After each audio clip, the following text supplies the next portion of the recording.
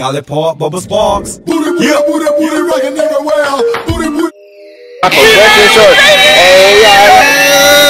I don't know what to do. I don't know what to do. but um nevertheless the ncct old version it has a lot more front office questions. It was majority scenarios. It also dealt with medical situations. Um, visual there was a lot of ekg questions that were visual.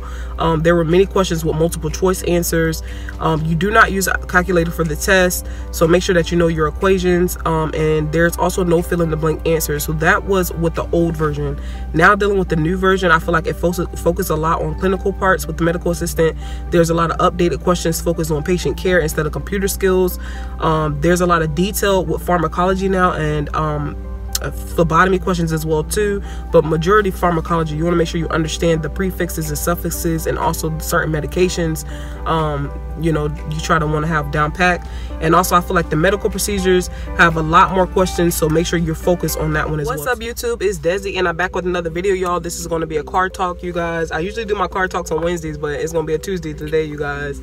Um so this video is going to talk about as far as for comparing the NCCT as far as for the 2016 version to the 2020 version. Now, um, when I first took the NCCT, it was 2018. So that was when I first graduated from medical assistant school. And um, just recently I noticed that they updated their um their format as far as for the test. I actually printed out if you guys watch any of my previous videos, I actually printed out the um and highlighted a couple of things. So this one right here is the 2020 detailed plan right here. And you guys could see the version of it right up here. And then this one right here is going to be the 2015 one. So this one's the one that I had took when I first took it. So I'm gonna just tell you guys the differences that I noticed. Certain things to probably kind of look out for. Now I haven't took the 2020 version, you guys. So uh, hopefully this could be able to help you out. I just read off of most of the comments and I just based it off of the um the study guide so hopefully this kind of help you out. So um the ncct has certain brackets as far as for when taking the test so you'll be able to see how many pharmacology questions you have you'll see how however many um medical office procedure questions you have. It's kind of like that and that's what i like about the ncct because you at least want to know like okay which which um one should i focus on first? So when i first first took the test you guys um i made it 66 when i first took it the second time i made it 68 this is my um this right here is to show you guys the format but this is exactly what i'm kind of focusing on today you guys. Just showing you guys the columns as far as for right here uh how many questions is in there. All right so you have pharmacology. Pharmacology the old version i'm gonna tell you guys the old version versus the new version. So the old version has a total of 13 questions of pharmacology. Now with the 2020 version it's 21 questions with pharmacology. Now if you guys uh, look at any of my results for my pharmacology for 13 questions it's, it's a total of 13 questions that was on the old version. Um the passing percentage is 73% on that particular one i got a 61% this is when i had got a 68 so i'm basing everything off of my old test. Um okay so now with medical office procedures this is dealing with infection infection um, control also exposure control and safety. There's a there was a total of 13 questions uh, with the old version. Now there's a total of 28 questions. And with this particular one you have to have a 71% to pass. I had a 69% on that one.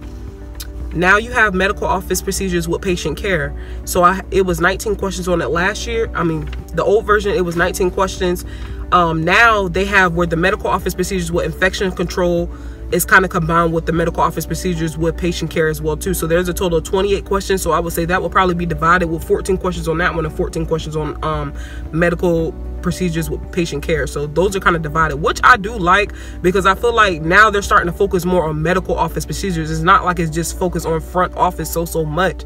Like the majority i feel like with the medical assistant test should really just be focused on back office work. Like i know we have to have an understanding of front office work but the majority of the time we're going to be moving and doing a lot of stuff in the back office depending on which position you get but majority medical assistants are doing back office work all right now looking at with phlebotomy there was a total of 20 questions on there. Now there's 21 so only went up by one with uh, phlebotomy. Um i did good on my first time with phlebotomy when i first took this one. This time i had the passing of it is 76 percent. I had 55 percent on that last time. All right so now you have ekg and other diagnostic tests. So that includes ekg placements. That includes ekg um, technique uh, techniques also recording and interpretations of ekg and also the troubleshooting and maintenance of ekg there were 23 questions on EKG. Now there's a total of 18 questions on EKG. I actually like how that went down because when I first took it, one of my friends told me she felt like she had so much more questions on EKG than anything. And EKG is pretty nice as long as you know so much as far as with the heart flow and the placements of everything through V1 through V6. You also got to know what the P wave is. Um, you also got to know what the QT, QRS wave is, you know, all those type of things. So, um, yeah, EKG, it really wasn't that hard. I just feel like our teacher, Mr. Tony, impact that on us so, so much. So we wanted to make sure we actually understood the material when they're talking about EKG. Um, now this is what front office stuff so you have general office computer questions this is asking as far as for what is those are going to be questions like what is a hard um, a hard drive what is a soft drive software drive like stuff like that what do you how do you um, print something on a computer what do you have to press control print you know stuff like that. So control p you know stuff like that. So there were a total of 25 questions on this one. Um on old version now there's a total of 21 but the good thing about it general office computer skills is also mixed is a mixture of general office uh, medical records. So that one is like a mixture. So um, last year there were a total of 14 questions on just the general office medical records. Now it's a combination with the general office computer skills as well. So 21 divided i would say it would probably be 10 questions on one and then 11 questions on the other. So that's how that one was um, both of those passing percentage is 70 percent. So um, you want to make sure you kind of make sure you have a good understanding as far as for what is a hardware drive what is a software drive you know understanding where a, what a file is you know how do you um, file a, per, a patient's medical records by their last name those type of things so you want to make sure you understand those um, you also have medical office questions as far as for billing insurance. Um, this is also dealing with financial management.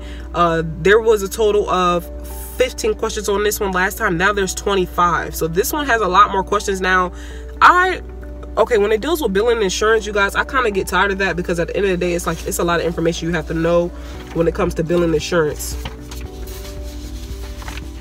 And i just feel like you know that should just be because it, it, deals with also um, ICD-10 codes as well too and if you kind of don't have a good mixture of that that can kind of throw you off but it is good to know as far as for a medical assistant I just feel like that should be its own entire field when dealing with that and um, the passing for that one is 68%. I ended up getting a 66% on that. And then you also have law and ethics. So the passing percentage is 80% on that one. There was a total of eight questions on that on the old version. Now there's a total of 16 questions on that. So they kind of up some of the front office medical information, but it's not to kind of like throw you off on certain things. So just make sure you pay attention to that. So hopefully this could be able to kind of help you guys out. If you guys are looking for a little bit more detailed as far as for the ncct do check out my other videos.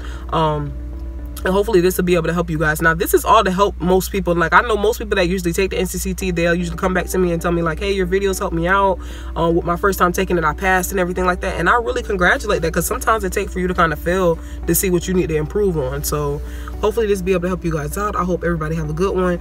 Peace y'all